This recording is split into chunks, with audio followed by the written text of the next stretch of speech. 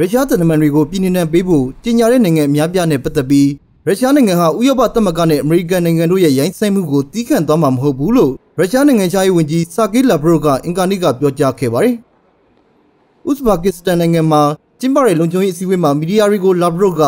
ရုရှားနိုင်ငံဟာနောက်နိုင်ငံတွေရဲ့နောက်ဆုံးလှုပ်ဆောင်ချက်တွေကိုလက်တုံ့ပြန်သွားမယ်လို့ပြောကြားခဲ့တာဖြစ်ပါတယ်။တစ်ချိန်တည်းမှာပဲရုရှားနိုင်ငံမှာနိုင်ငံရေးသမားတွေဟာပြည်내တန်ပေးခြင်းနဲ့ပတ်သက်ပြီးပြင်းပြင်းထန်ထန်တုံ့ပြန်သွားဖို့တိုက်တွန်းခဲ့ပါတယ်။ Напрашивающийся вывод заключается в том, что ညီကုန်းချုပ်ကတော့ခေတ်သစ်ကဘာကြီးနဲ့ဥရောပမှာလွတ်လပ်တဲ့နိုင်ငံအနေအချင်းလောက်ပဲရှိတယ်ဆိုတာကျွန်တော်တို့မှန်ကန်ပါတယ်။အဲ့ဒီနိုင်ငံတွေကတန်တမန်တယောက်နှစ်ယောက်လောက်ထွက်သွားပြဖို့မေးပြီးကျွန်တော်တို့ကိုတူတူတိတ်တိတ်တောင်းပန်နေနိုင်ငံတကာဇက်ခုံမှာအမေရိကန်နိုင်ငံရဲ့အဓိကလက်နက်အဖြစ်သုံးပြီးအတင်းအကျပ်ဖိအားပေးချင်းချောက်အကြက်ကန်ခံရလို့ဒီလိုတွေဖြစ်လာတယ်ဆိုတာကျွန်တော်တို့သိပါတယ်။ ну, мы знаем доподлинно, что это результат колоссального давления, колоссального шантажа.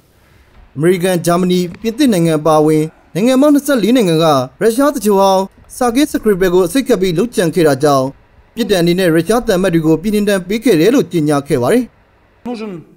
э, သူတို့တွေကရန်သူလိုအပ်ပါတယ်သူတို့တွေကလူတွေကိုကြောက်အောင်လုပ်ပြီးအခုကိစ္စမှာရုရှားကိုဆန့်ကျင်ဖို့အတွက်စုစည်းကြပါတယ် советская Россия. ဒါကြောင့်ဒါကဆိုဗီယက်ရုရှားဒါမှမဟုတ်ခရိုင်းမီးယား ဘွန်ဘတ်ဒါမှမဟုတ်စီးရီးယားပဲဖြစ်နေပါစေအရေးမကြီးပါဘူးဒါထိတ်တိုက်တွေးလိုက်တာဖြစ်ပါတယ်ဒါပေမဲ့အနောက်နိုင်ငံတွေဟာအခြေအနေပိုဆိုးအောင်လှုပ်ဆောင်နေတယ်ဆိုတာကိုတော့သဘောပေါက်တင်တယ်ဗြိတိန်နိုင်ငံကရုရှားနိုင်ငံကိုပြစ်တင်ဆွဆွဲခဲ့တဲ့မလ၄ရက်နေ့ကဖြစ်ပွားခဲ့တဲ့တိုက်ခိုက်မှုကြောင့်ဗြိတိန်နဲ့ရုရှားနှစ်နိုင်ငံစလုံးဟာတနိုင်ငံကိုတန်တမန်23ဦးစီအပြန်အလှန်ပြည်နှင်တန်ပေးခဲ့ပါတယ်။ရုရှားနိုင်ငံဘက်ကတော့စိတ်ကလွတ်ကျန်မှုနဲ့ပတ်သက်ပြီးညှင်းဆိုခဲ့ပါတယ်။